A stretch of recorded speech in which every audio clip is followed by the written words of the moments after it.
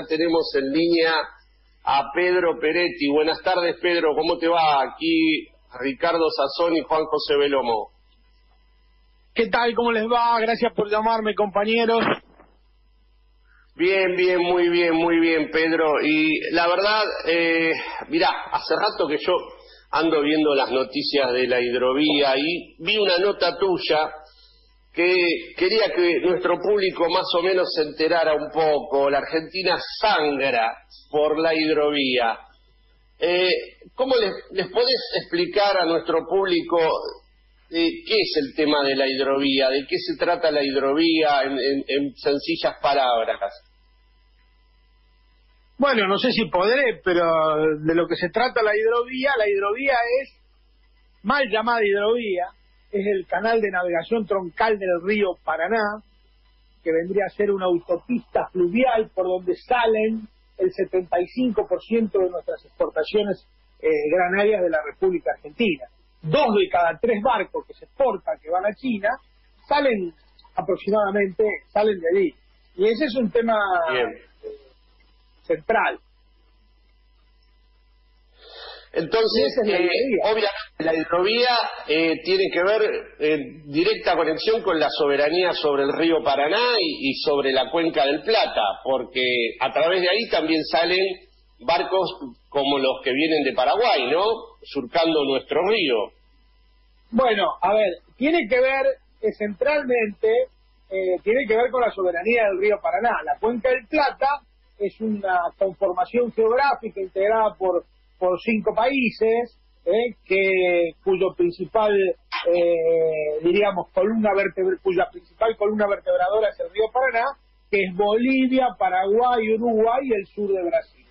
Desde ahí, desde esos cinco países, es donde sale mayoritariamente la producción de soja y maíz que se produce en esa región, cuyo principal destino es eh, China. La cuenca del Plata abarca una geografía aproximada de 3 millones y medio de kilómetros cuadrados. Bien, bien, bien, Por lo que tenemos este, de información, en esa vía hay este, puertos privados por donde salen las mercaderías este, como con declaración jurada, hay este, maniobras eh, de tercerización a través de Paraguay para no pagar impuestos. ¿Cómo, cómo funciona ese negocio, Pedro?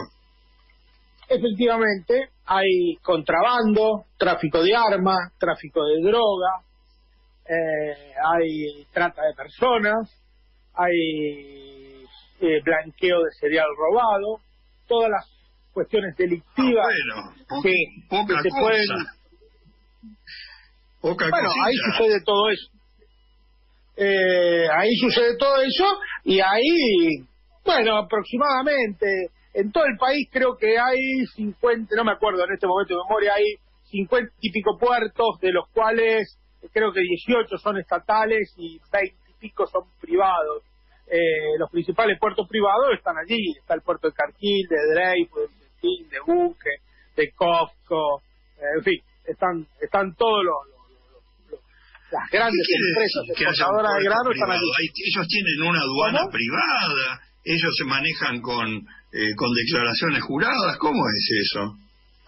Se manejan con declaraciones juradas, el control aduanero es inexistente, el control del SENASA es inexistente, el control de la unidad antilavado de la Argentina es inexistente y es prácticamente un, libre, un viva la pepa, como se decía.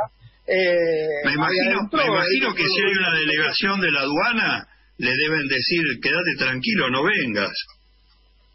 Oh, Además de quedarte tranquilo que van a, vas a vivir bien. Nadie aguanta cañonazos ahí.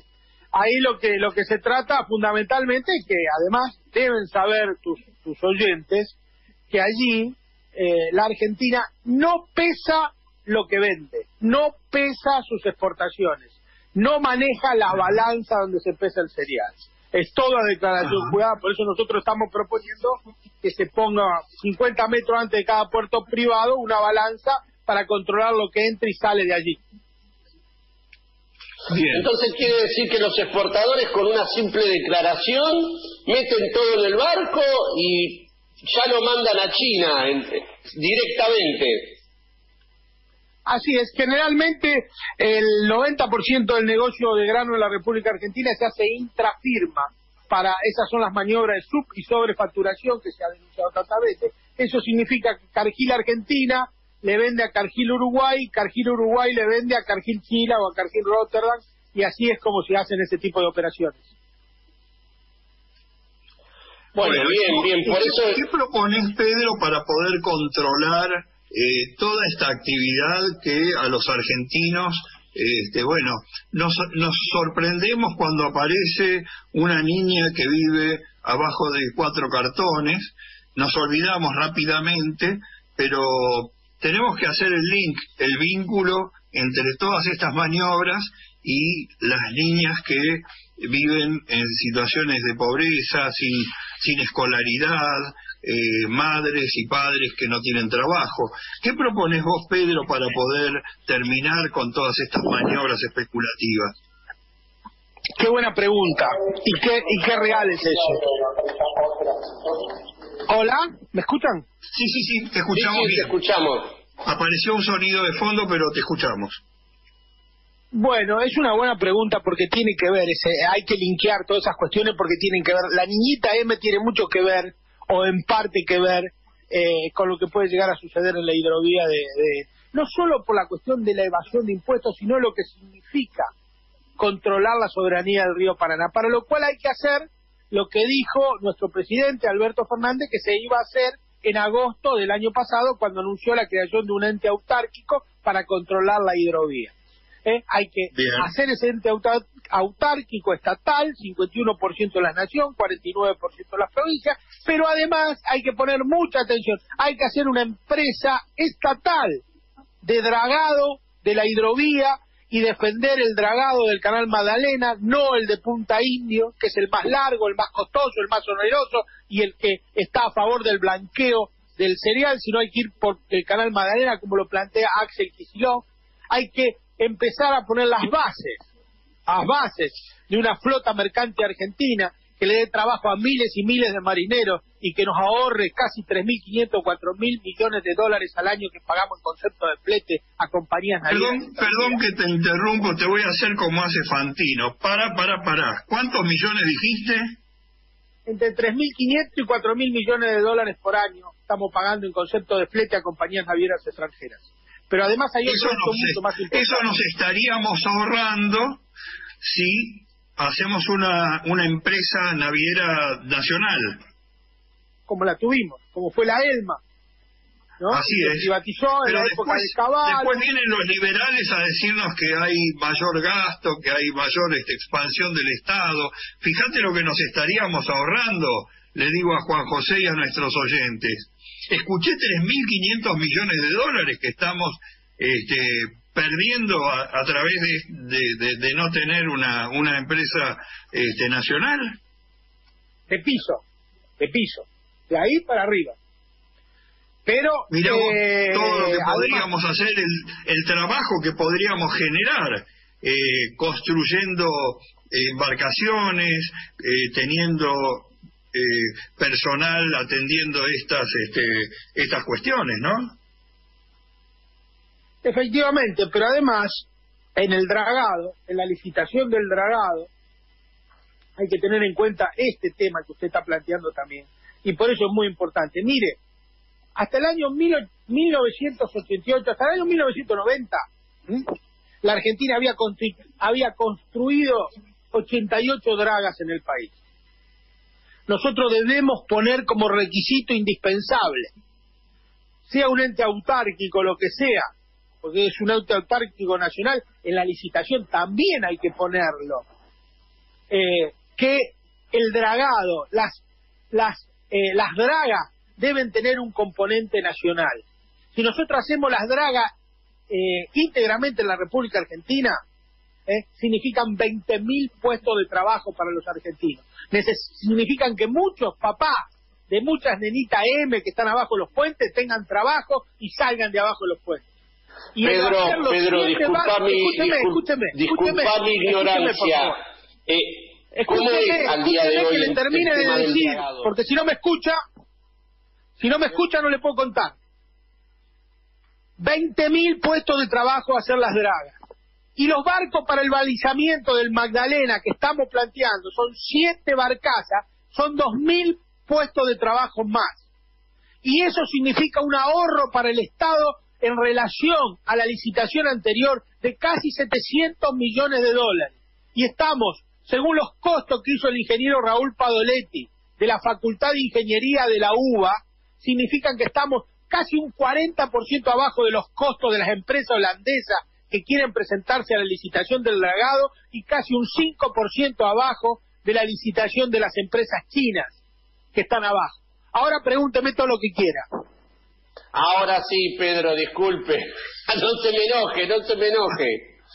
Eh, no me enojo. No, es que, es que con el WhatsApp el audio a veces sale un poco diferido y no sabía en qué parte meter la pregunta. No, el tema es, actualmente eh, eso se presenta a licitación y se ofrecen las empresas extranjeras nada más. Lo gana alguna de ellas y se encargan del trabajo ellos.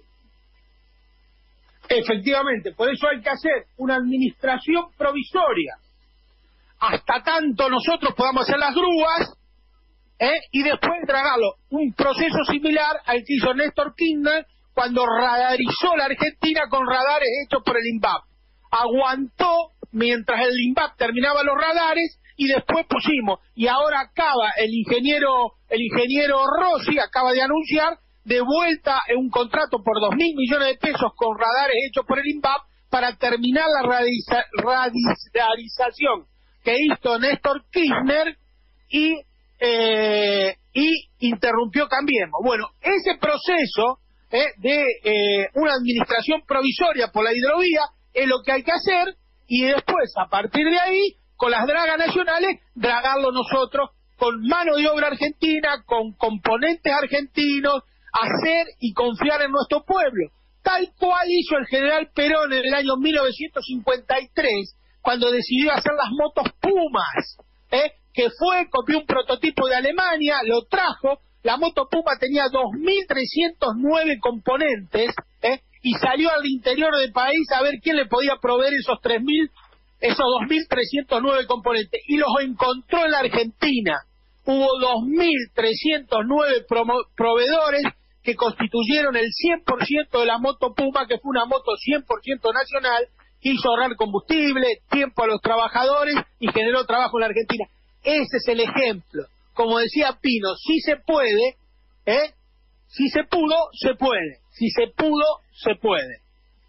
Pedro Peretti, eh, bueno, ¿Cuánto sentido tiene hacer eh, comunicación popular cuando uno puede escuchar a compañeros como vos que tienen conocimiento, que, que lo aplican a la realidad argentina, que lo aplican con patriotismo? Así que te agradecemos muchísimo y te adelanto una pregunta muy sencilla de contestar para el próximo programa.